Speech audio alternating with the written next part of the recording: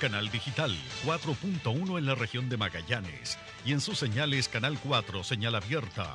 Canal 30 de la señal por cable, Canal 10 en Puerto Natales, Canal 62 en Porvenir, Canal 42 señal claro, 95.3 FM, 590 AM y www.elpingüino.com con el auspicio de Colegio Particular Novelius. Lealtad, nobleza, sabiduría. Presentan Noticias, edición central en Pingüino Multimedia.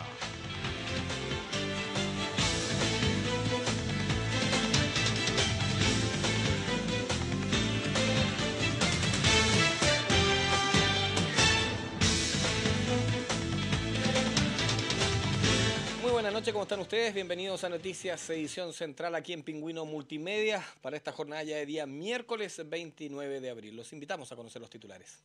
Estos son los titulares. Diversas armas hechizas, cortopunzantes y garrotes fueron encontradas en allanamiento realizado por personal de Gendarmería al interior del recinto penal en Punta Arenas.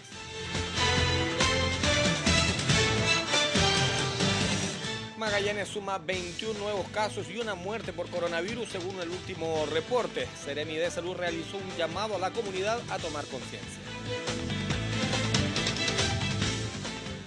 Dos damnificados dejó un incendio que destruyó media agua ubicada en la toma de prolongación Enrique Abello ocurrida durante la mañana del miércoles. Cuatro compañías trabajaron en la emergencia.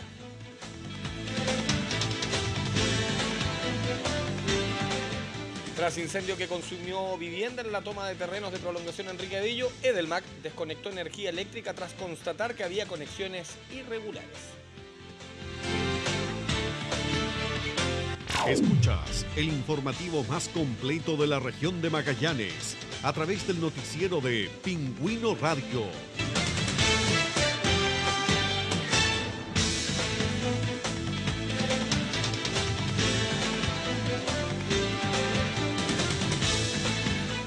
Así es, vamos a entrar de inmediato al detalle de las informaciones, pero antes les comentaremos que se encuentra el cielo relativamente parcial nublado, con una temperatura de 6 grados y una sensación térmica de 3. Y con esa información inmediatamente entramos entonces al detalle de las informaciones. Lo adelantábamos en los titulares, diversas armas hechizas, cortopunzantes y garrotes fueron encontradas en allanamiento realizado por personal de gendarmería al interior del recinto penal de Punta Arenas. Para el detalle de esta información tomamos contacto con nuestro colega, el periodista Alex Miralles Covili. ¿Cómo está Alex? Buenas noches. Así es, porque durante este miércoles personal de Gendarmería realizó un allanamiento en diversos módulos del complejo penitenciario de Punta Arenas, esto luego de que habrían indicios de que habían internos eh, que tenían algún tipo de armas hechizas, estos elementos eh, contundentes y también eh, armas cortopunzantes eh, artesanales que habrían realizado los internos y por este motivo se realizó este allanamiento por parte de personal de Gendarmería. Vamos a pasar a escuchar las palabras del director regional de Gendarmería, Luis Muñoz, y posteriormente también el Ceremi de Justicia, Fabián Mella, en relación a este allanamiento y también encontrar estos elementos que son riesgosos para la integridad, no solamente de los internos, sino que también de los funcionarios de Gendarmería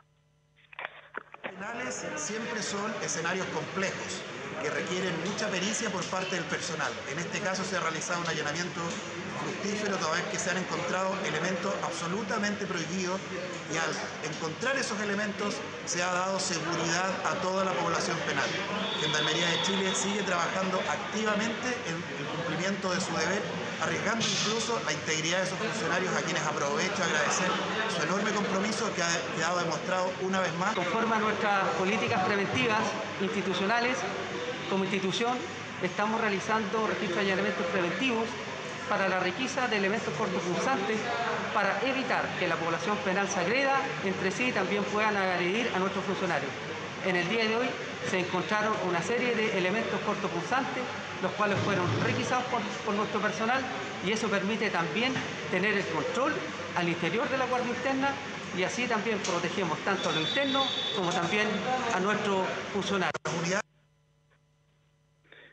Ahí estaban las palabras del director regional de Gendarmería, Luis Muñoz, como también del Ceremi de Justicia, Fabián Mella, en relación a este hallazgo y también allanamiento en diversos eh, módulos de la cárcel donde internos tenían ocultos estos elementos cortantes, eh, armas hechizas que son obviamente eh, elementos que se realizan y se confeccionan obviamente para provocar lesiones a otras personas. En este caso son utilizadas por los mismos internos para amedrentar a otros y también quizás eh, para eh, amenazar a estos mismos internos que se encuentran en la cárcel de Punta Arenas cumpliendo diversas condenas. Por ese motivo, entonces, es que también se está realizando la investigación correspondiente en relación al uso de estos elementos prohibidos al interior del complejo penitenciario, grabante también que es el uso de armas, eh, um, como indicamos, al interior de este recinto penal.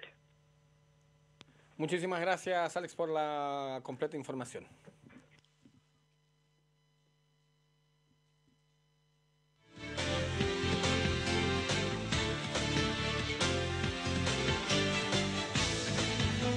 Escuchas el informativo más completo de la región de Magallanes a través del noticiero de Pingüino Radio.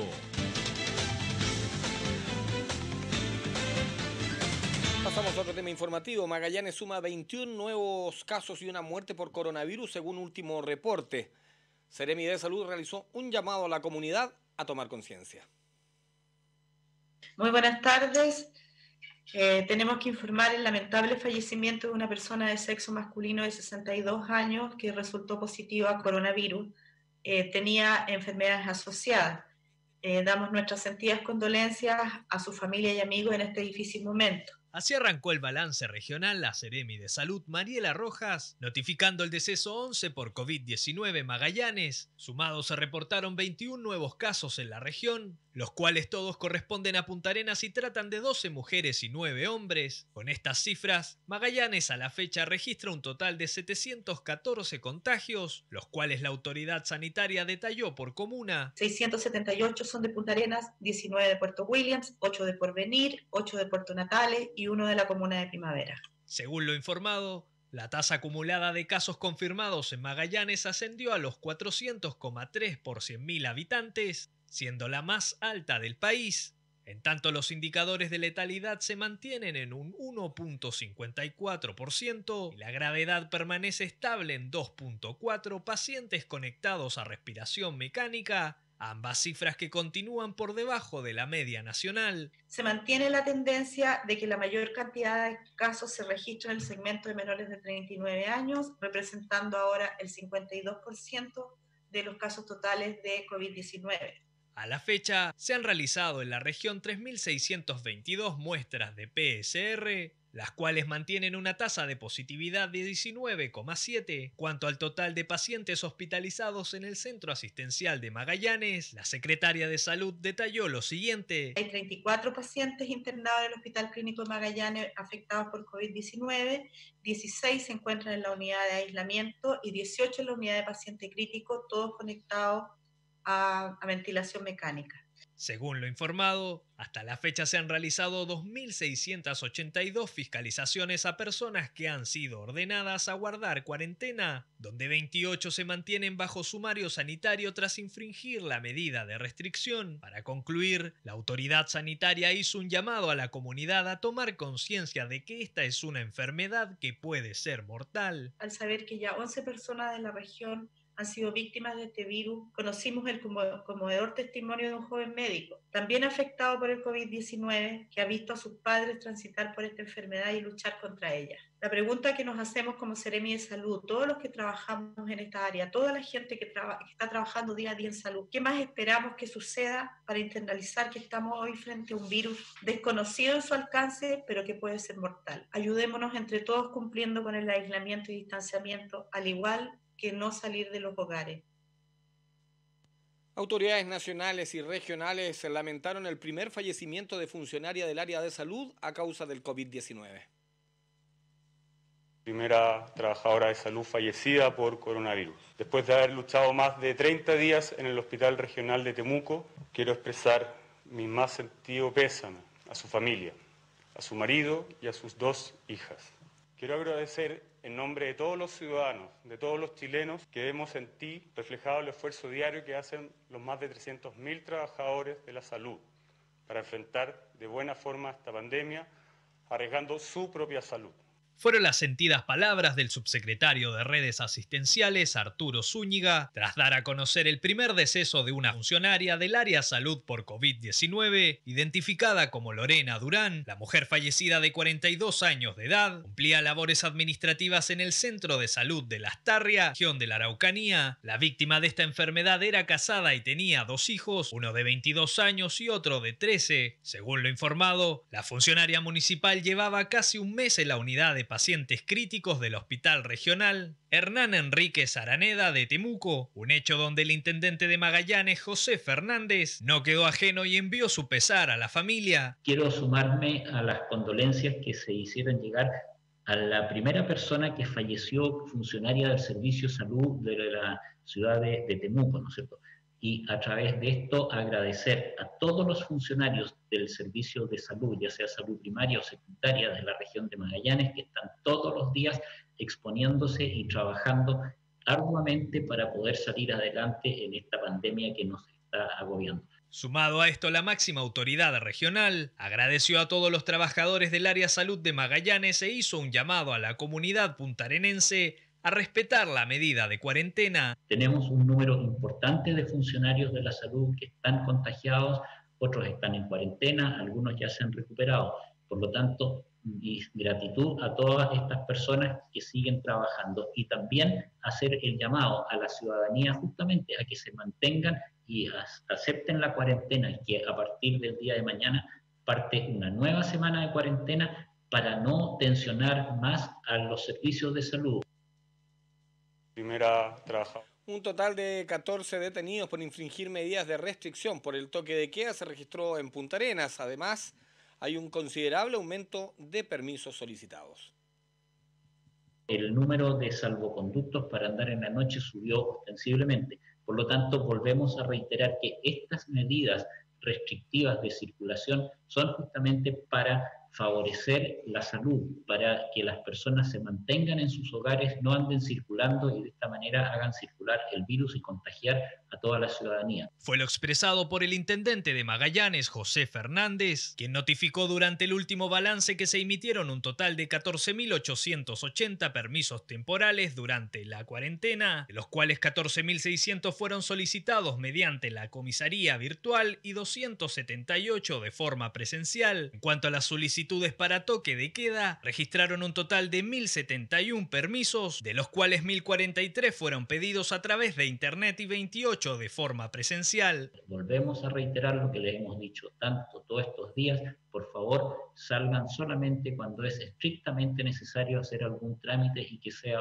Ojalá una persona que salga de la casa y ese aproveche de hacer todo lo que tienen que hacer. Sumado a esto se notificó de un total de 11 detenidos por no respetar la medida de cuarentena en Punta Arenas y tres personas arrestadas en porvenir por incumplir el toque de queda. Formado esto, el jefe de Defensa Nacional en Magallanes, general Rodrigo Ventura, reiteró su llamado a la comunidad a respetar las medidas de restricción para evitar alzas de contagios por COVID-19. Hasta siete días más vamos a entrar en nuestra quinta semana de cuarentena. Eh, nosotros entendemos las complicaciones que trae esta medida restrictiva para cada una de las familias, pero quiero pedirles que se tome como una oportunidad de poder continuar con las medidas y poder bajar así de esta forma la tasa de contagio que en nuestra región se mantiene en un orden de los 15 y de los 30 casos positivos.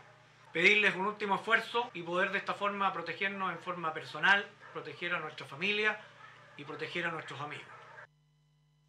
Dos damnificados dejó incendio que destruyó vivienda ubicada en la toma de prolongación Enrique Abello ocurrida durante la mañana de este miércoles. Cuatro compañías trabajaron en la emergencia. Alrededor de las 10 de la mañana con 21 minutos de este miércoles se produjo el siniestro afectando a un inmueble ubicado en el sector de La Toma, que pobladores tienen en el sector de la prolongación de calle Enrique Abello al norporiente de Punta Arenas, siendo despachadas al lugar tres unidades del cuerpo de bomberos correspondientes a la tercera, cuarta y quinta compañías, para luego sumarse una más con el carro aljibe de la sexta. De acuerdo a lo informado, el trabajo de los voluntarios bomberiles se centró en evitar la propagación de las llamas a las viviendas colindantes, siendo uno de los problemas que debieron enfrentar la escasez del suministro de agua, según lo expresado por el segundo comandante del Cuerpo de Bomberos, Carlos Hidalgo. Tenemos un incendio cierto aquí en una toma que hay en el sector alto de Cardenal Raúl Silva Enrique. Se trata de una casa habitación de material ligero de un nivel ha sido bastante complejo a raíz de que el incendio está por, en el piso. Lamentablemente, aparentemente, de acuerdo a lo que hemos conversado, en la parte de abajo habría serrín. Tiene el piso cierto de, de pales, son dos, son dos corridas de pales arriba más piso flotante. Por lo tanto, el fuego se desplegó hacia los lados, ¿cierto? Los vecinos, atónitos, observaron cómo el fuego consumía la vivienda del material ligero y que albergaba a dos personas, las cuales perdieron todos sus enseres a causa del siniestro, quedando prácticamente con lo puesto y damnificado. Por su parte, Bomberos informó que la causa del incendio será investigada por personal de peritos de la institución. Tras incendio que consumió vivienda en la toma de terrenos de prolongación Enrique Abello, Edelmag desconectó energía eléctrica tras constatar que habían conexiones irregulares.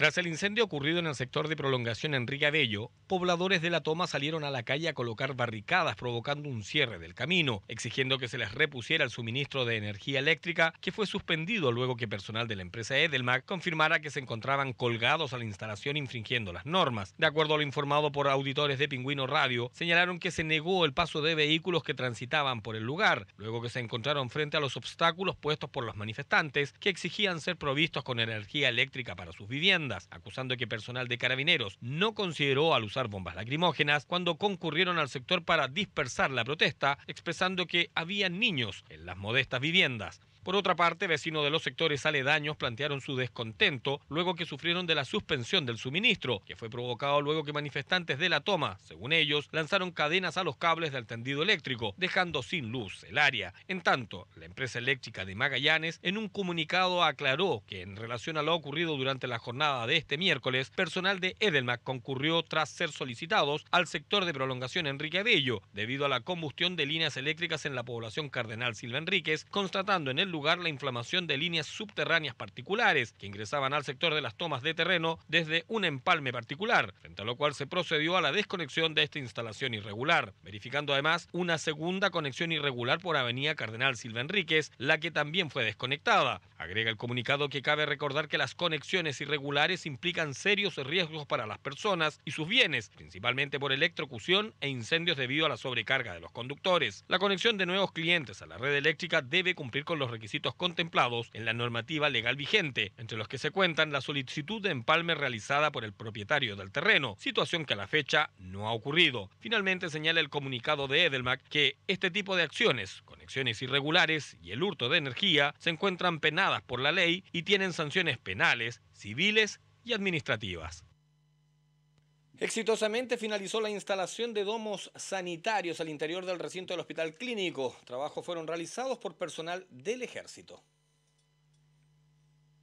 Durante la jornada de este miércoles finalizó el proceso de la instalación de 18 domos sanitarios para camas básicas a un costado del edificio del principal centro asistencial de la región, ocasión donde el jefe de la Defensa Nacional General de División, Rodrigo Ventura, hizo la entrega oficial. En la ocasión se firmaron las actas de entrega de las dependencias instaladas en el Hospital Clínico de Magallanes, oportunidad donde el director del Servicio de Salud, Nelson Reyes, agradeció la gestión, el trabajo y el apoyo entregado por la institución castrense para materializar estos domos, los que serán de mucha utilidad ante una eventual situación de riesgo. Por su parte, el general Rodrigo Ventura destacó las coordinaciones realizadas desde el primer día con las autoridades de salud, en conjunto con el apoyo de las Fuerzas Armadas y la mano de obra brindada por personal del ejército. Cabe señalar que el proceso se desarrolló en tres fases. La primera, donde el personal del Regimiento Logístico Magallanes confeccionó cajas para embalar y se trasladó a la mina invierno ubicada en Isla Riesco, en la comuna de Río Verde. La segunda fase permitió el desarme y traslado de los 18 domos y dos módulos sanitarios a Punta Arenas, para en la tercera fase realizar el armado en las dependencias del hospital clínico de los implementos que fueron facilitados por la empresa minera al servicio de salud y el principal centro asistencial de Magallanes a causa del coronavirus.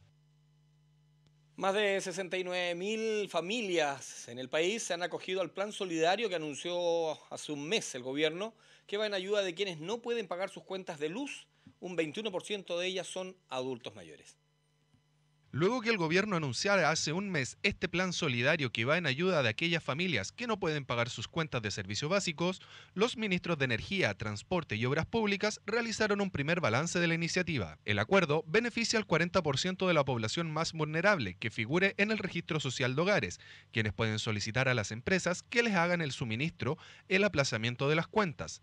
Dichas deudas podrán ser prorrateadas hasta en 12 cuotas, sin intereses, una vez que se levante el estado de catástrofe. También podrán acceder a este convenio los adultos mayores de 60 años y aquellas personas que hayan quedado cesantes o que tengan problemas para pagar en el contexto de la emergencia sanitaria por COVID-19.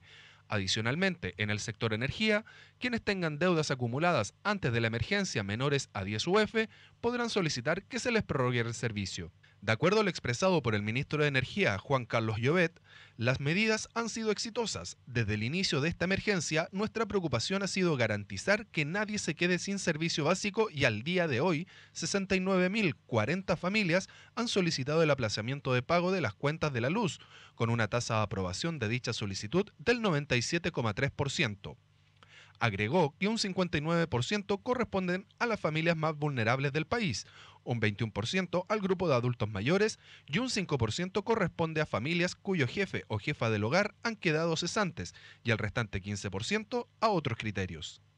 El secretario de Estado sostuvo que las cifras que ha recopilado la SEC nos demuestran que el acuerdo está en pleno funcionamiento y que las familias chilenas están haciendo uso de él, por lo que esperamos que esta medida se convierta en un real alivio para las economías de los hogares que así lo requieran, mientras dure la pandemia. Finalmente, el ministro de Energía señaló que todas aquellas deudas que existen con respecto a esta medida puedan ser presentadas ante la Superintendencia de Electricidad y Combustible a través de sus diferentes canales virtuales y también el call center. Para prestar apoyo en la ciudad de Talca, personal del destacamento motorizado Comunicán de Porvenir se trasladaron para sumarse en tareas de control y seguridad. Durante la jornada de este martes se realizó el traslado aéreo de 21 efectivos del destacamento motorizado número 11 Caupolicán de la localidad de Porvenir en la provincia de Tierra del Fuego, con el objetivo de apoyar en labores de apoyo a la comunidad de la ciudad de Talca, en la región del Maule, cumpliendo de esta forma con los requerimientos institucionales del Ejército de Chile ante la necesidad del relevo del personal de la zona central y norte.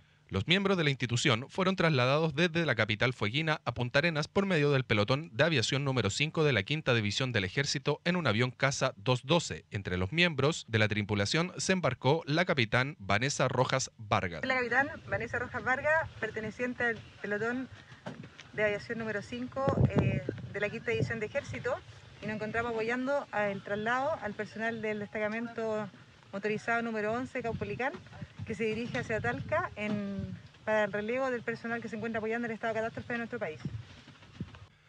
Al igual que en otras instancias, la institución castrense ha movilizado diferentes efectivos de la quinta división de ejército en apoyo al actual estado de catástrofe, sumándose a una maniobra que conlleva una serie de esfuerzos en un actuar conjunto con otras ramas de la defensa nacional y de orden. De esta manera, los miembros del destacamento Caupolicán fueron trasladados desde Punta Arenas a la región del Maule, contemplándose su despliegue en tareas de apoyo a la comunidad en labores de control y seguridad, sumándose a la batalla contra el COVID-19. Nos vamos a nuestra primera pausa comercial, pero al regreso estaremos conversando con la presidenta de la Unión Comunal Punta Arenas, Cecilia Cárdenas Reyes. Ya volvemos.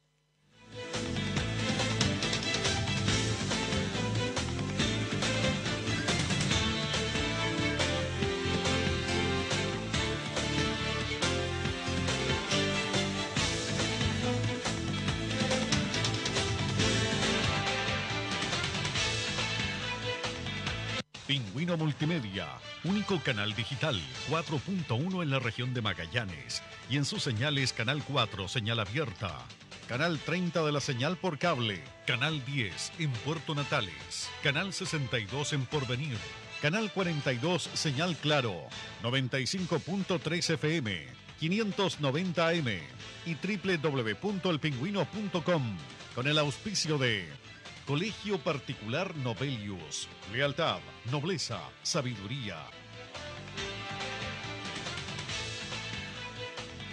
Colegio Novelius. Establecimiento educacional particular pagado, con 30 años de presencia en Magallanes.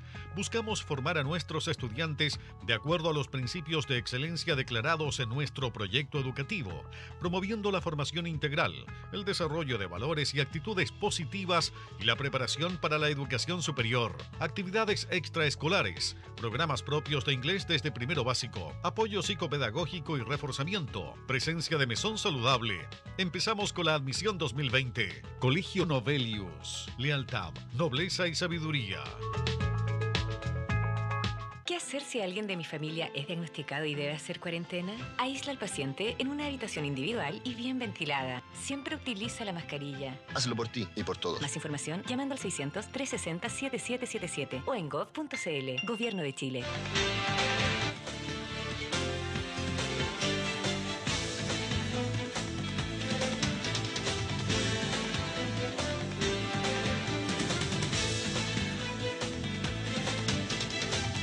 Estamos de regreso en Noticias Edición Central y como lo adelantamos antes de irnos a la pausa, ya está en la línea telefónica la presidenta de la Unión Comunal de Juntas de Vecinos de Punta Arenas, Cecilia Cárdenas Reyes. ¿Cómo está? Buenas noches, Cecilia. Gusto saludarla. Hola, muy buenas noches, Maximiliano. Muchas gracias por este contacto. Eh, gracias a Dios, eh, yo bien y toda mi familia también en, en buen estado de salud. Me alegro. Queríamos consultarle, tengo entendido que durante esta jornada estuvieron entregando mascarillas. Sí, bueno, hoy día nosotros ya estuvimos entregando nuestra primera entrega parcial de, esta, como te dije, esta campaña a la cual nosotros nos quisimos unir como Unión Comunal, eh, esta campaña denominada 40.000 mascarillas para Magallanes. Eh, claro, eh, fue nosotros comenzamos el día 14 de abril, comenzando a aglutinar a algunas dirigentes, partimos con un grupo muy pequeñito, y ya hoy día podemos decir felizmente que tenemos sobre 35 voluntarias costurando eh, desde sus casas y ya pudimos entregar nuestra primera entrega parcial de 1.335 mascarillas.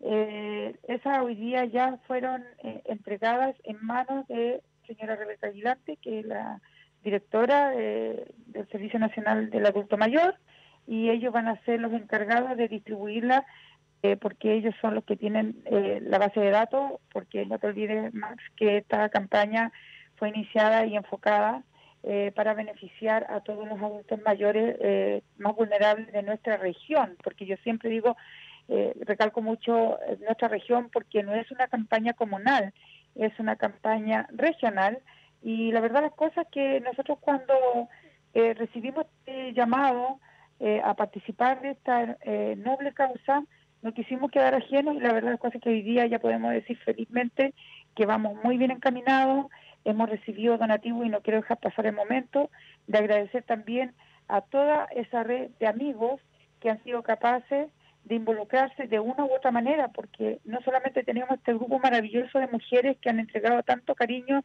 tanto amor por la entrega de todos los días estar costurando desde sus hogares, sino que además eh, sin esta red de amigos que nos ha apoyado económicamente para poder comprar el material suficiente y poder seguir adelante con este con esta hermosa causa eh, no hubiera sido posible porque todo se hace con dinero.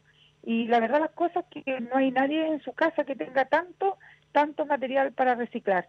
Entonces nosotros como unión comunal dijimos que íbamos a ir un poco más allá y hicimos a esto funcionar algunas redes de de amigos y ellos nos ayudaban, eh, todos saben quiénes son, eh, y la verdad es que ha sido una campaña para nosotros, Comunión Comunal, exitosa, pero al 100%, porque hasta el día de hoy todas nuestras voluntarias están trabajando con material en sus casas y que además no han tenido que salir a buscar el material ni a la unión comunal ni a ninguna dirección. Hemos sido nosotras mismas como dirigentes que nos hemos encargado de ir a dejarles a ellas, a sus hogares, eh, todo el material necesario para poder llevar a cabo esta hermosa causa. Sin duda importante la entrega de este material de seguridad fundamentalmente para las personas. Desde ese punto de vista eh, nos gustaría saber cómo es la visión de ustedes como Unión Comunal por la cantidad de, juntas de vecinos que reúnen respecto a que se amplió por una semana más lo que es el toque de queda, o sea, perdón, este, la cuarentena la cuarentena total. Eh, si, si tú me preguntas desde el punto de vista de la salud, por supuesto que, que primero está cuidar la integridad de, los ciudadanos y yo creo que la medida restrictiva de manteniendo una cuarentena total obviamente no está enfocada más allá que en resguardar cierto la integridad y que nos cuidemos pero eh, también uno tiene que hacer una crítica y la crítica no va hacia las autoridades porque no somos niños chicos y hemos visto que lamentablemente esta cuarentena total ya llevamos un mes, vamos a cumplirla y resulta de que estamos viendo que todavía hay mucha gente irresponsable en las calles. Eh, yo te puedo decir esto, Max, que eh, por una cuestión de, fuerza mayor yo sí tengo que trabajar y, me, ha tocado evidenciar eh, situaciones como tan, tan, que, es como del cotidiano vivir de, del magallánico hoy día, que tú ves esto, una persona paseando con un bebé en un coche en la calle, eh, ves que entra a un supermercado, un matrimonio por comprar un pollo asado con una bebida. Y, y tú dices, bueno, está bien, a lo mejor puede ser algo necesario, pero tan necesario es que puedan entrar dos personas, si estamos hablando del distanciamiento social, si estamos hablando que hay un montón de medidas restrictivas y se vulneran y se, hace caso omiso de eso. Entonces, eh, si tú me preguntas a mí, eh, el tema es bastante controversial, ese es mi punto de vista. Ahora, yo te puedo mencionar que eh, los dirigentes tienen variadas opiniones y ahí yo no me puedo no puedo quedar, digamos, ajena a lo que piensa el resto. O sea, uno está llamado a decir lo que dicen sus dirigentes y la opinión es diversa. Como dirigente vecinal, me gustaría saber su opinión también. Eh, diversas críticas han salido a la lentitud que ha tenido este eh, proceso que está desarrollando la municipalidad de los distritos y la ayuda social que están esperando. Y también te puedo mencionar ahí, eh, Maximiliano, que el tema de la municipalidad también he recibido, eh, así como críticas, también he recibido llamados diciendo, ¿sabe que Es muy raro que digan que se demoran por un lado o que las canastas son insuficientes por otro lado. Cuando se habla de un beneficio de canastas familiares, eh, esto la gente eh, de repente uno no sabe a quién creerle, porque hay personas que dicen a mí, me llegó una canasta ridícula y otras personas me envían fotografías y me dicen, esta es la canasta que entrega el municipio y la verdad las cosas que las imágenes eh, son distintas, o sea, unas canastas bastante contundentes. Ahora, la lentitud, yo creo que eh, por la contingencia, porque yo te puedo decir que con este tema de la mascarilla a mí me ha tocado ir mucho a entregarle a la población, a las chiquillas que están ayudando eh, las voluntarias y me ha tocado que por ahí me dicen, sabe que yo conozco una familia que lo está pasando mal, he, recibido bastantes requerimientos y la verdad las cosas que ahí yo te podría decir que hoy día eh, se ha triplicado la cantidad de casos de gente que está necesitando una ayuda social urgente y yo creo que de repente los esfuerzos humanos pueden ser insuficientes y eso también es comprensible porque tenemos que tenemos que tener un poquito quizás de calma porque yo creo que la ayuda va a llegar eh, de distintos puntos de vista. La unión comunal igual está tratando de hacer sus gestiones eh, esto se está recopilando los datos para hoy día me contaba la la secretaria de la Unión Comunal, doña Laura Vergara, que está encargada de la parte social con este tema de las canastas,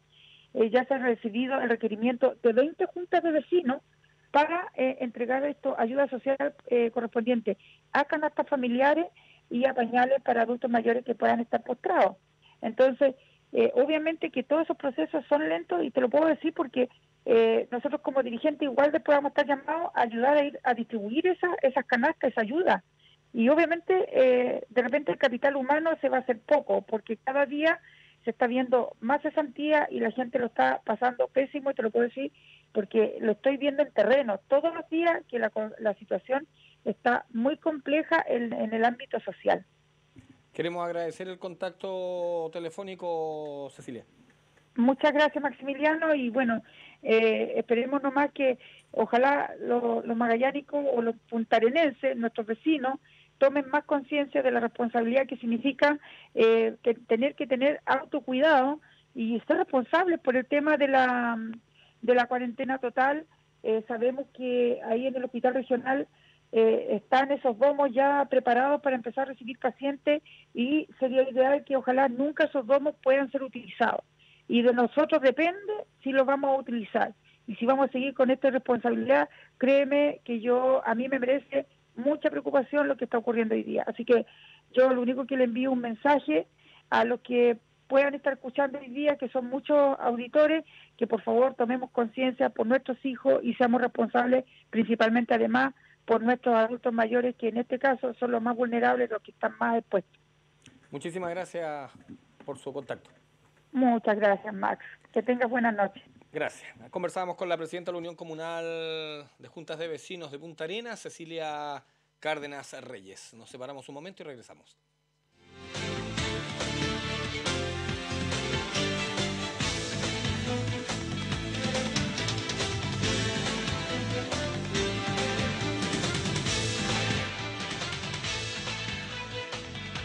Pingüino Multimedia, único canal digital 4.1 en la región de Magallanes. Y en sus señales Canal 4, señal abierta, Canal 30 de la señal por cable, Canal 10 en Puerto Natales, Canal 62 en Porvenir, Canal 42 señal claro, 95.3 FM, 590 AM y www.elpingüino.com con el auspicio de Colegio Particular Novelius. Lealtad, nobleza, sabiduría. Colegio Novelius. Establecimiento educacional particular pagado, con 30 años de presencia en Magallanes.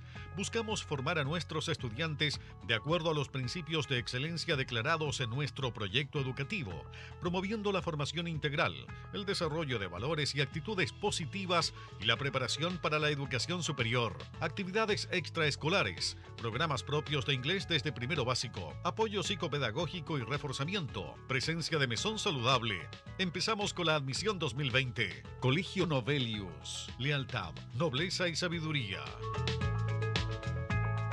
¿Qué hacer si alguien de mi familia es diagnosticado y debe hacer cuarentena? Mantén la distancia de un metro. No compartas platos y utensilios de aseo. No permita la entrada de visitantes. Hazlo por ti y por todos. Más información llamando al 600-360-7777 o en gov.cl. Gobierno de Chile.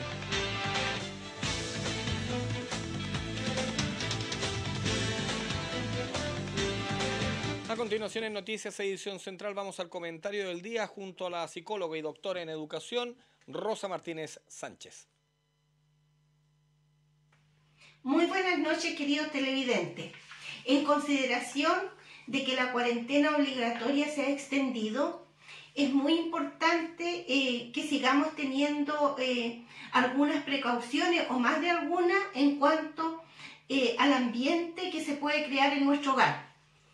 Eh, si ustedes observan, se van a dar cuenta que muchos de los conflictos surgen a consecuencia de una mala comunicación. Entonces, hoy día, sobre eso vamos a tratar.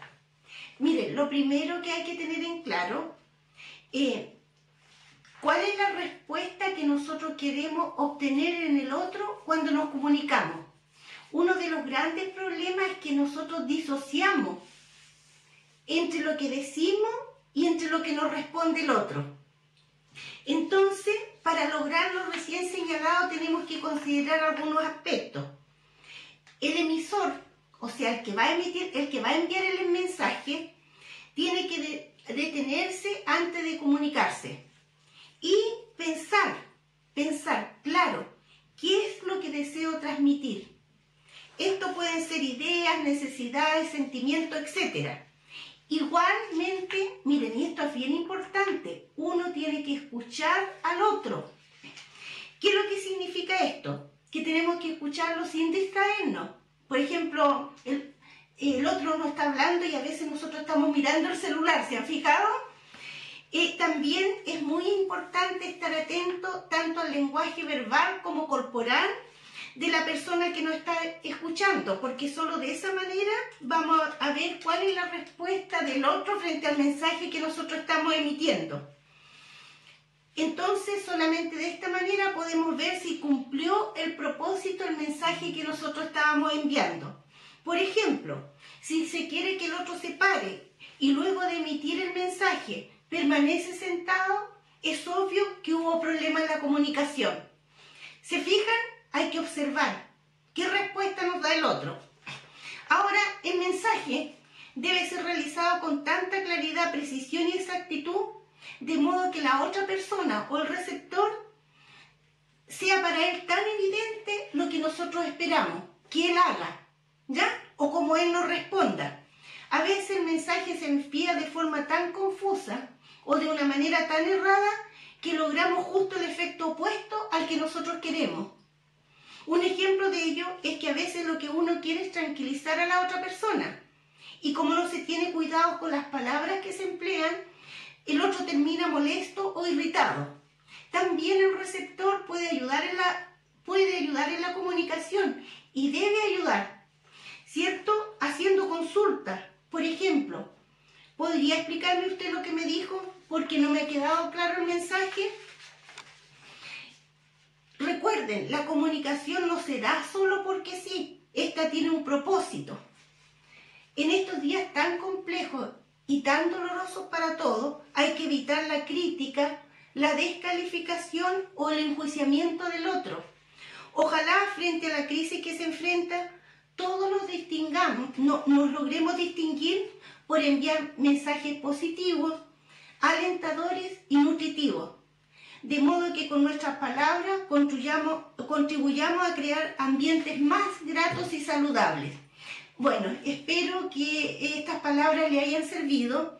No se olviden que todo lo que decimos acá, si no lo ponen en práctica, no sirve. Así que esta semana a practicar respecto a la comunicación. ¿Les parece?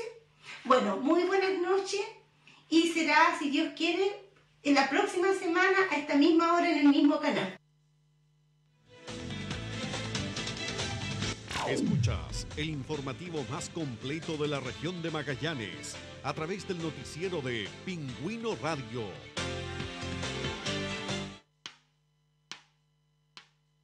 Oportunidad única, con entrega inmediata para locatarios pyme e inversionistas que quieran arrendar locales comerciales en Punta Arenas, dos edificios comerciales con 12 locales cada uno, Monte Darwin y Francisco Coloane ubicados en prolongación Avenida Independencia sin número, sector con 320 viviendas nuevas de clase media y social, cercano a colegio, centro de esquí y vista directa a calle principal. Arquitecto Juan Pablo Jainaga Mayagaray, EPCO, OMCORP.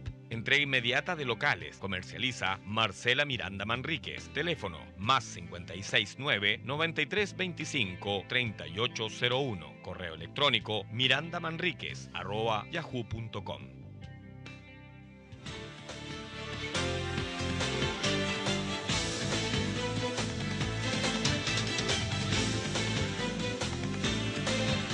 acá la entrega informativa en Noticias Edición Central. Agradecemos su sintonía y lo dejamos cordialmente invitado para que siga nuestra programación. Muchas gracias. Buenas noches.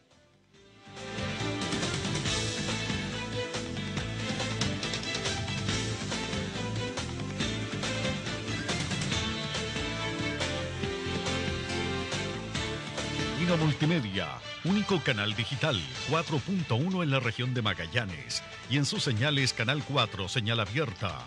Canal 30 de la señal por cable, Canal 10 en Puerto Natales, Canal 62 en Porvenir, Canal 42 señal claro, 95.3 FM, 590 AM y www.elpingüino.com con el auspicio de Colegio Particular Novelius. Lealtad, nobleza, sabiduría. Presentaron Noticias, edición central en Pingüino Multimedia.